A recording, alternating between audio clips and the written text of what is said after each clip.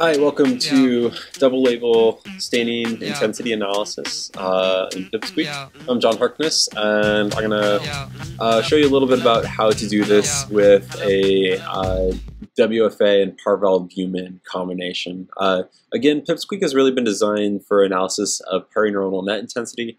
Um, not to say it can't be used for other types of uh, cells or stains, uh, but in this case, our parameters are really tailored to uh, WFA and parvalbumin. So uh, with that, let's go ahead and start. We're going to click uh, the double label intensity analysis and move forward. And so again here, just like with the single label analysis, we have the choice of running semi-automated, automated, or automated analysis, um, and then also a choice of uh, summing our z-stacks into images for analysis. Uh, much the way the or much the same as with single label. Um, Semi-automated is going to be a little bit more cautious. It's going to give us the chance to double check the cells that Pipsqueak is identifying. Uh, I think especially in the case of double label analysis, it's good to use semi-automated rather than automated. Uh, however, if you're finding that the program is working very well for you, then automatic might be the, the way to go. It is quite fast when you run it on automatic.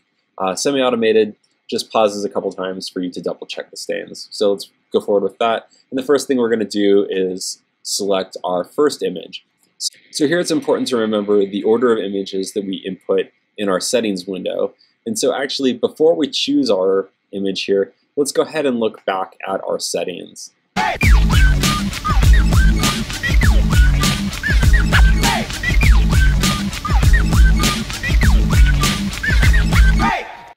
So in this case, on the third window of our settings, uh, we can see the three images that we are uh, pointing our double label analysis towards.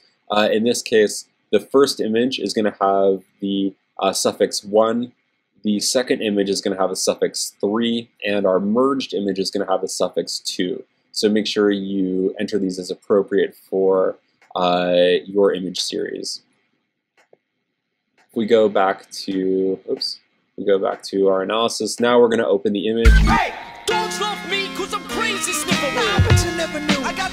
Okay, so what we can do here is choose our image that we're going to analyze. Uh, for example, let's just choose this guy here. Uh, and so what we want to be careful of is to make sure that the suffix of this image, which is 1, uh, matches up with that that we put in our settings and saw a second ago. So this is number one. That's going to be the first one we'll analyze, and I'm going to open it. All right, and so what you can see here is that the first image is a parvalbumin stain. And the reason I like to analyze the parvalbumin first is because uh, the stain is really just staining the cell body, so it produces ROIs that are very tight against the cell. Uh, whereas the stain that we are co-labeling these uh, cells for is very large. The WFA stain, we like to incorporate the dendrites or processes that come off of the cell body, and so the ROIs tend to be much larger than just the cell body. Therefore, uh, the first one can fit inside the second one, um, which tends to make the analysis go a little bit smoother, um, although I don't think it's entirely essential. So in this case, parv is number one, uh, and we're going to call this uh, subject one just for uh, this example here. So uh, I started it up, and the first thing it does is uh, subtracts out the background, just like we did in the single label analysis. And once it's done that, uh, it's going to go through and start to look for uh, cells that match the description of what we've told it to look for. So uh, in this case, uh, since we're really just looking for the cell body, I've kept my my, my detection threshold pretty low, and I've also kept my cell size pretty small. So if you were looking at CFOS or something like that, uh, these parameters might also work for you there. Uh, and so you can see it's detected a number of cells. I think there are probably a couple more here that it didn't pick up on. So why don't we try dropping this down just a touch. We'll drop it down to 0.9 and see if that picks up more cells. We'll also click, yes, I want to rerun with the new settings. And it's going to try one more time. Um, okay, maybe it got a couple more things there, but not a huge change. So rather than doing that forever, let's just do this by hand. So we'll choose our second uh, choice here. No, I'd like to add delete by hand. And just like in our single label analysis, we want to leave this dialog window open while we, uh, we edit our uh, ROIs here on the image. And so I've got my image selected. I'm going to toggle on and off the ROIs so I can see what's been detected and what hasn't. Um, in this case, you can see a lot of cells here that uh, are being picked up, but a couple that aren't. And so what I'm going to do first is maybe add a couple more that I think are cells that should be included. And to do that, I'm going to select just a random ROI, in this case number one, and I'm going to take it and place it over cells that I think should be included. And when I place it over a cell, I can do one of two things. I can either click Add uh, over here in the ROI Manager, or I can press the T button on the keyboard. So I'm going to press T, and what that does is, uh, oops, is adds a new ROI there. Um, changing this out. Okay. And so that's now number 19. So I'm going to continue to do that for uh, a couple other cells that I think should be included here in this analysis. Um, and you know, that's this might or might not be one, but I think that's actually probably an artifact, so I'm going to ignore it and call that good. Uh, however, there are a couple of these cells that are uh, maybe not or should not be included, and so again, we can see that easily by toggling um, all the ROIs on and off. And when I do that, actually I'm seeing that everything that's labeled probably should be labeled. However, uh, I'm going to add uh, maybe just a couple more here that I think were. Uh, in the case of this number 13, that one's a little big, so I'm going to shrink that ROI down and call it good. So we'll press OK, and what that's going to do is uh, start the process again so that we move on to uh, the second uh, stain for analysis. It's also going to collect the intensity of the first stain here. And when it does that, it's going to print those values into our log window. And so we'll have those uh, later on for analysis. And it's moved on to our second stain, to WFA. So it's moving through. It is looking for WFA cells, and this is what I came up with. Uh, again, I think there are probably a couple more WFA cells, so let's try dropping uh, this threshold down just a bit, drop it down to 1.05 and tell it to rerun with those settings. And when it does, uh, it looks like it picked up a couple more, so that's great. Uh, but then let's go ahead and finalize things by hand. And when we do that, uh, in this case, uh, here's one issue that you really want to keep an eye out for, and that's when two cells might be incorporated into one cell. And this is really probably the biggest reason that you don't want to run uh, pipsqueak on automatic mode, is because sometimes you'll end up with multiple cells put together. So I'm going to delete that ROI, and I'm going to draw two new ones that uh, sort of encompass these two cells, what I think are two cells, separately. Um, and include this guy up here, and then let's toggle on and off and delete any other cells. So I think that there is probably not a cell here. I think that that's just an artifact, so I'm going to delete that. I think that number 9 probably doesn't fit what uh, in our lab we call a WFA cell. Number 10 certainly doesn't, and I think that number 8 also doesn't. Um, so for, oh, and let's also delete number nine. We'll call that good. Maybe this could use a little bit more work, but for our example, I think this is good enough. And so now that we're finished here, we're going to press OK, and what's going to happen now is it's again going to measure this uh, single label for WFA, but after it does that, it's going to go through and it's going to try to find the uh, WFA cells that overlap with the PARV cells, and it's going to do it really quickly, but hopefully we'll get to see that. Um, oops, I think it's running in the background here.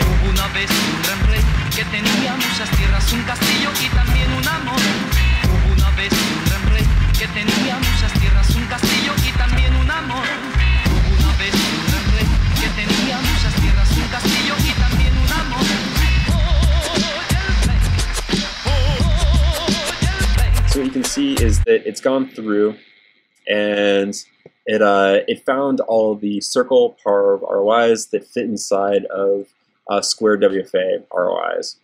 And now it's giving us a chance to double check it. And here, what I'm really looking for are instances where I think the parv cell is not the same as the WFA cell. So for example, if we uh, if we double check this here, um, I'm going to, to change one. Let's say this uh, this parv cell just happens to be over there, and uh, the WFA cell.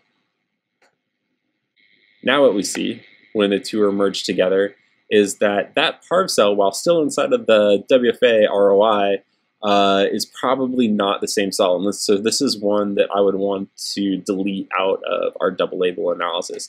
Um, of course, that's not really the case. The program actually did a good job of detecting the same cell there, so I'm just going to put it back and we can continue on with our analysis. All right, so there we are. This is our final uh, double label set, and I'm going to accept double labeling as is, and we can move on. And so what Pipsqueak has done is, again, measured the uh, intensity of those of those images, and it's printed it all out here into the log window. So uh, if you were going to analyze more images, you could go ahead and say open next, and it's just going to start back at the beginning. Or if you wanted to do something else, you could go to uh, the main menu. For our case, let's go ahead and just take all these data and import them into Excel so we can start looking at how to uh, post-process the data. So again, I'm going to uh, select all here and then copy. And I'm going to open my Excel window. Okay, so I'm going to paste the data into Excel here. And just like in our single label analysis, what you can see is it's pasted everything into a single column. Uh, and so we want, what we want to do is expand these columns out into uh, multiple columns and then delete some of the extraneous information that's in here uh, from the program some of that information is actually really useful if you're just doing a quick analysis. For example, it's telling you the number of cells that were singly stained or were stained with uh, parvalbumin uh, and the intensity of those uh, cells. It's also telling you uh, the number of like co-labeled uh, parvalbumin cells here would be 11 out of the 22 that we saw up here. So some of that information is nice, but uh, when we're preparing the data for statistical analysis, it can really get in the way. So what we're going to do is we're going to select everything and we're going to go to our data tab and expand the text into columns. Oops, I'm sorry. So we're just going to click column A and we're going to expand to columns. And just like in the single label analysis, we're going to unselect tab and we're going to select space because that's how the data are formatted and finish. And so what that's going to do is uh, turn that table of information into a usable format. Now we want to get rid of all that extraneous information. And so to do that, I'm going to select everything and then sort. And I'm just going to sort by uh, our subject number, even though we just have one subject here. And importantly, well, uh, yeah, for this case, we can, we can just sort by, uh, by our first column there. And so when we do that, uh, what you can see is that it separated all of our data into the top and everything else below. Before I delete everything else, there is one thing I want to take. I want to keep our table headings. And so this is one column or one row here that has all that. And I'm going to cut this row and uh, paste it up here at top. And when we do that, you can now see all those table headings. And I'm going to select everything else below and uh, get rid of it because we don't need that. Now that I've done that, what I want to do is sort all of my uh, all of my data back into a usable format. And so now I want to select everything, and uh, you can say that we have column headers. And so I probably want to sort by subject number because I might have more than one subject in a real data set. And I also want to sort by stain type. And the stain type is very important in fact, you probably actually want to put stain type above subject. And the reason for that is if you are looking at intensity values, uh, oops, you're more than likely going to want to uh, compare all of your stains together. So I want to compare all the parvalbumin or all the double labeled parvalbumin stains uh, to the others of that type and all the uh, double labeled WFAs to others of that type uh, between subjects. So now that I've done that, um, I can again look at my mean minus background column because these are the data that have been uh, corrected for the background uh, level of staining. And these are the data that I would go on to use uh, in further uh, statistical analysis. So with that, you are done with your first double label analysis and you can move on to statistics.